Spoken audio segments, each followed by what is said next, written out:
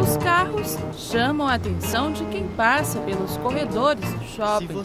Muitos param para observar cada detalhe e, claro, registrar algumas fotos no celular.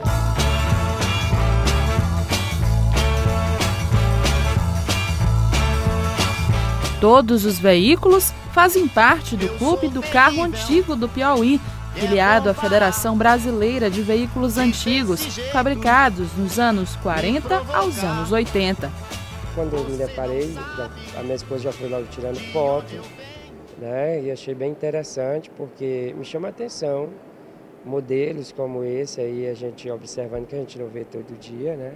É a oportunidade de ver de pertinho os carros que só vimos em novelas ou filmes de época, como esse Fiat de 1933, com pintura externa e interna da cor vermelho.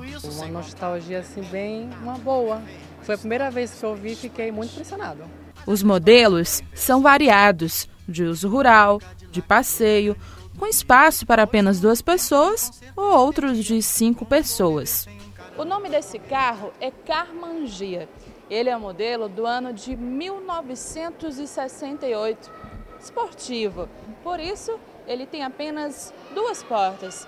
Chama mais atenção entre todos os carros expostos é porque ele tem uma belíssima cor chamativa amarelo. Mais que ele tenha 50 anos de fabricação, mas é um carro de excelente perfeição, né? No caso, design. Ainda hoje ele é, se destaca entre os outros. Calhambeque, bip, bip. Meu coração ficou com calhambeque,